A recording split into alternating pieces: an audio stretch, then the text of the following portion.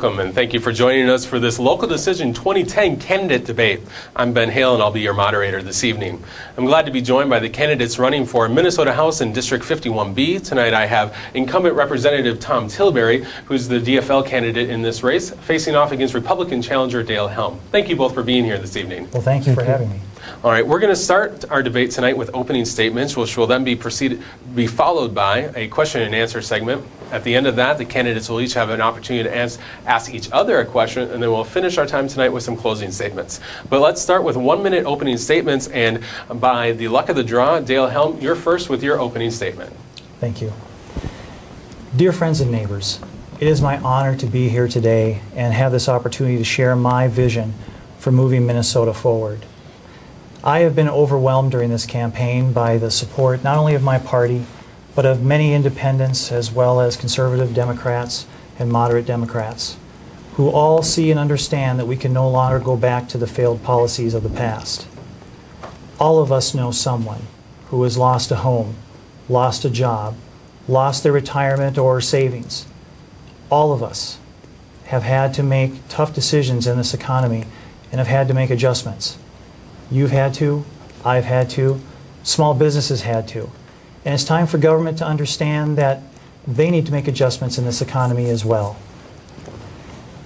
I firmly believe that under our current representative, this will not be possible. I feel that he is a politician who is out of touch and that his tax and spend policies have framed his record and have shown that he will not be part of the solution, but rather part of the problem. Thank you I've- for your opening statement this you. evening. Uh, we'll move on to uh, Tom Tillberry with your one minute opening statement. Thank you, Ben. And thank you, voters.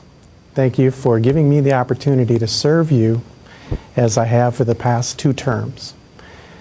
I look at our difficulties that we've had over time.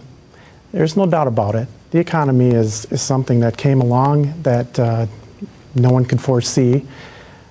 I look at it as a challenge that we have to face together. We have to do things that we have not done in the past, necessarily be more creative with the dollars that we have. It's always easy for someone to come along and think that they know the answers and become very simple with it. But this is something that is very important. And I look at, at it as I've done my best with what has been given to me. And I look at it as a service that I've done with my experience and the different committees they have put me on. I look at it as this is the challenge of the times that we have ever since the Great Depression. Thank you for your opening statement. We'll move on now to our question and answer segments. And the candidates did not receive the questions before coming into the studio tonight. So our first question will be going to Tom Tillberry. First question deals with state budget. Uh, it's no surprise that that's the first thing I'm going to ask about. Um, with a projected $6 billion deficit, uh, we have heard lots of different ideas from our three gubernatorial candidates. How do you believe the state can fix this budget crisis and keep it from happening, happening again just two years down the road? You have one minute to answer that. Thank you. The one thing I'd like to point out is that we need to have a balanced approach. We haven't had a balanced approach in the last eight years. When you look at things, we never have talked about taxes being on the table. We've never talked about revenue as being on the table as an option. There's three legs to a stool, I always say.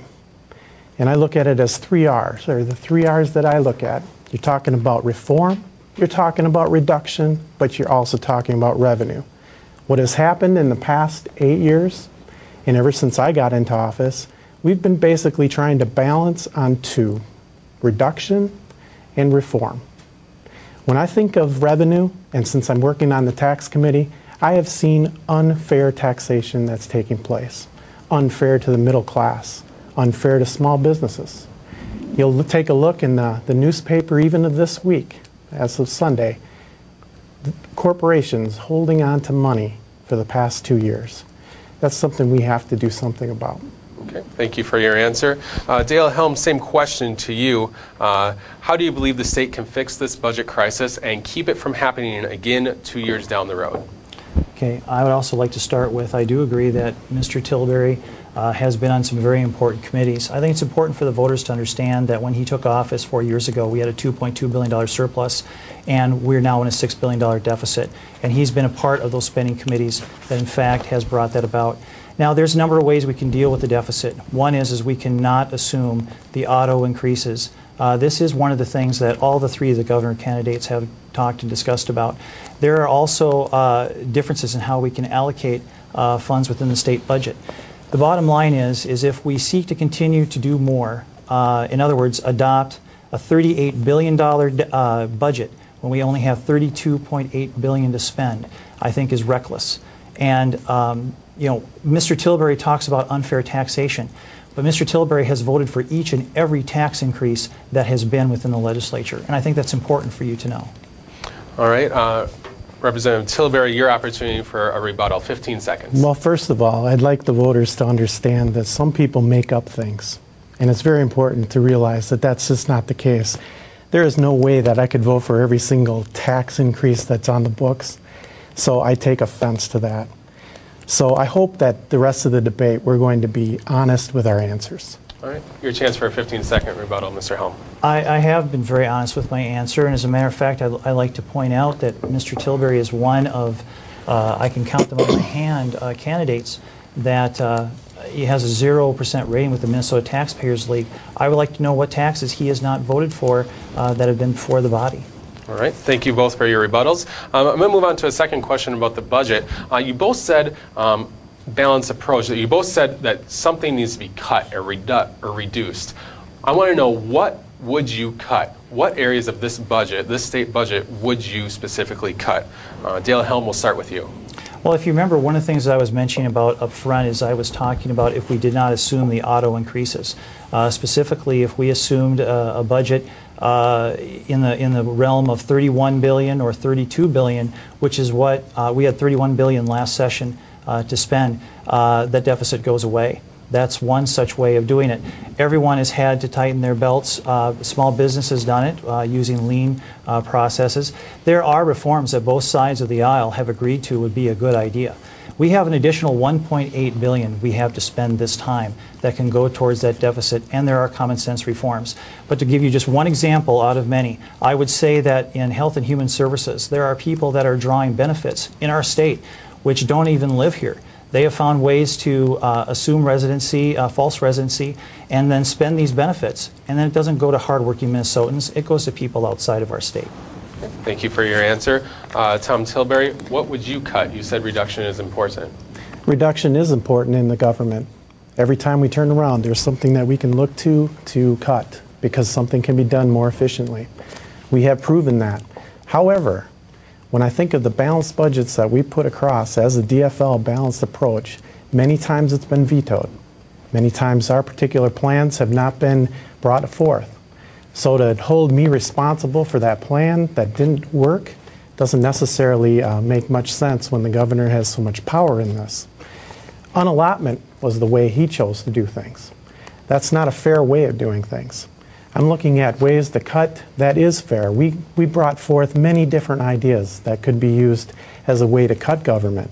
I co chaired and chaired a mandate reduction group. I worked on a mandate reduction in city government and county government plus K 12 finance.